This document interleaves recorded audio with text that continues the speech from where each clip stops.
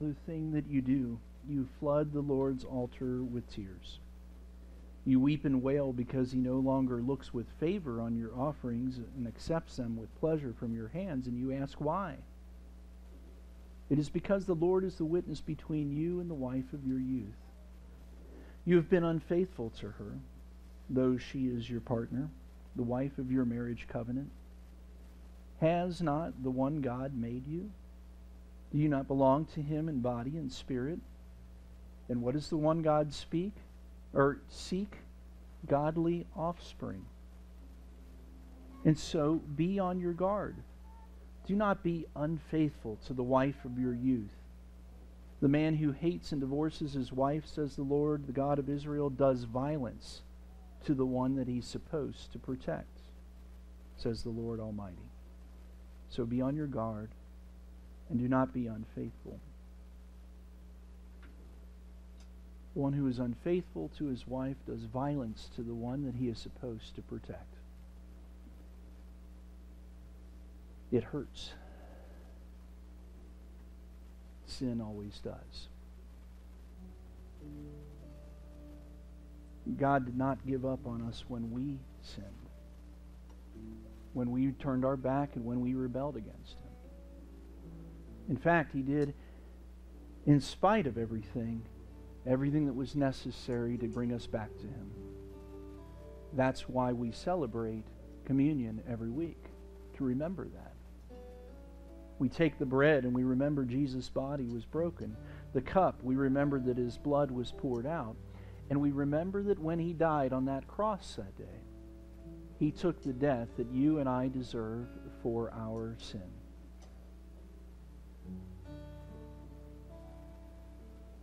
If God was willing to go to those kind of lengths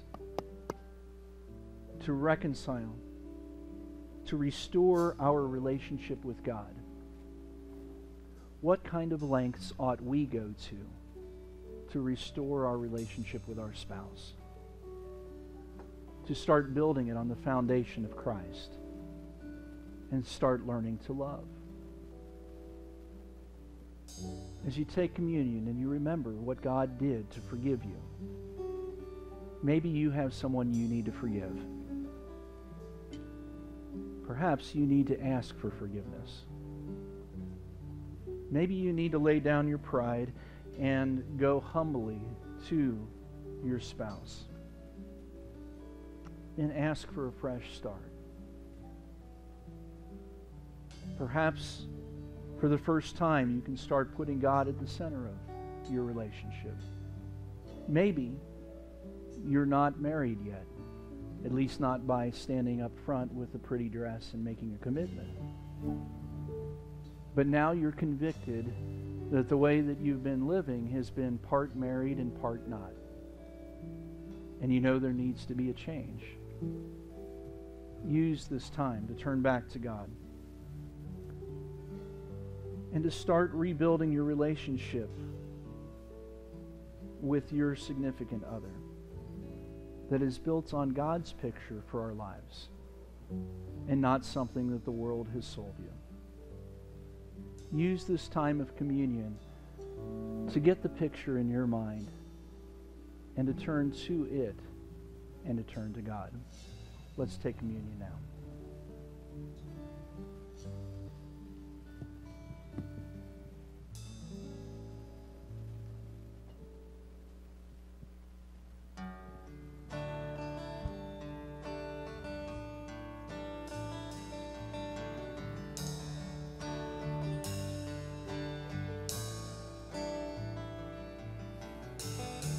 Cause I'm forgiven because you were forsaken. I'm accepted. You were condemned. Now I'm alive and well. Your spirit lives within me because you died and rose again.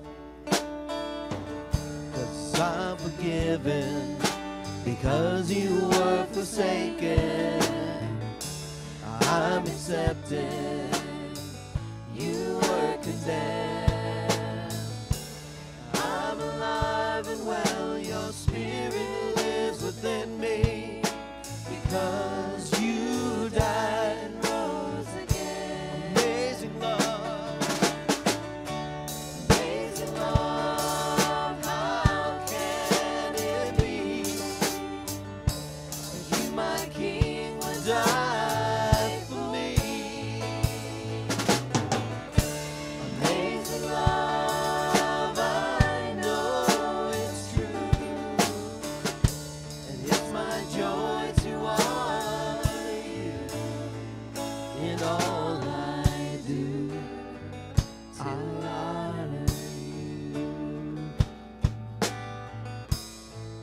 I'm forgiven.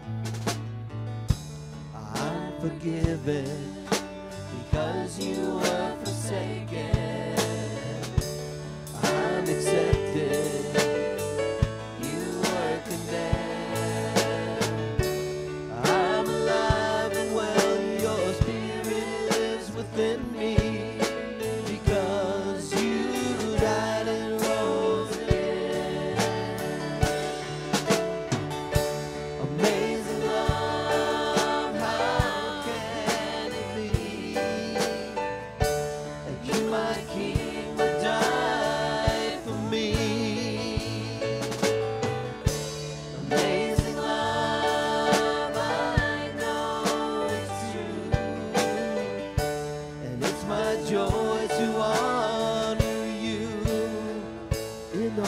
All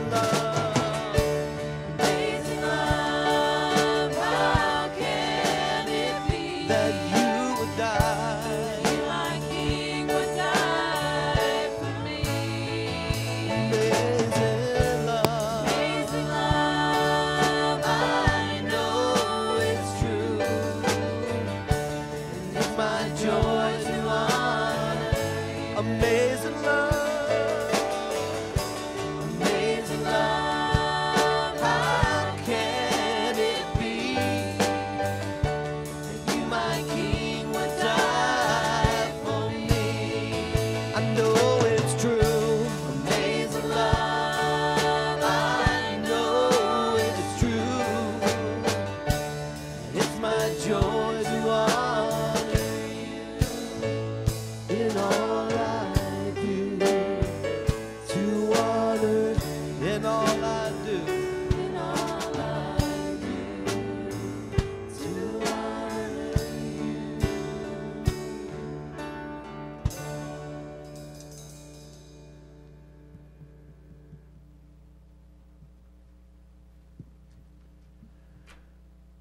I know that um, you're, you're ready to to get out of here today.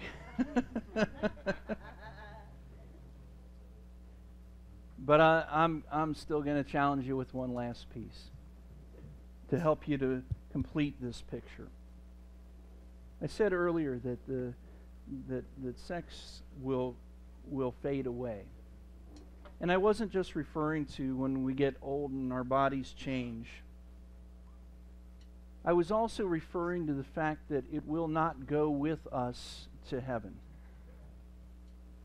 You see, we said a couple of weeks ago when we were talking about money, you can't take it with you, right? Well, this that part of our relationship won't go with us either. But love will. The relationship of love that we build with one another, that transfers to the next life. Think about it for a second. The reason that sex was needed in the first place was because we die and the human race needed to continue. There, there will be no more sickness, no more pain, no suffering, and no death. Jesus said, The people of this age marry and are given in marriage, but those who are considered worthy of taking part in the age to come and in the resurrection of the dead will neither marry nor be given in marriage, nor, and they can no longer die. They are like the angels. They are God's children. And since they are children of the resurrection, but in the account of the burning bush, even Moses showed that the dead rise, for he calls the Lord the God of Abraham, of Isaac, and of Jacob. He is not the God of the dead, but of the living for to him all are alive. When we leave this life and we go into the next, we will experience different kinds of joys. We will experience the life much more like the, the original Garden of Eden with Adam and Eve, where we can eat freely from the tree of life, enjoy a perfect love relationship with God, and perfect love, love relationships with others because the ones who are there are the ones who hear, chose, and learned to love. That's who we will spend eternity with. It'll be just like that Garden of Eden picture, where we can take delight in the Lord and we can take delight in one another. Let's go from here and be people of love.